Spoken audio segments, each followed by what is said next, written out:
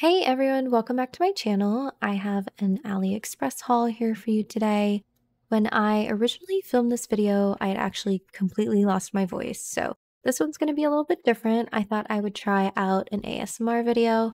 Let me know what you think of the style, and thank you for watching.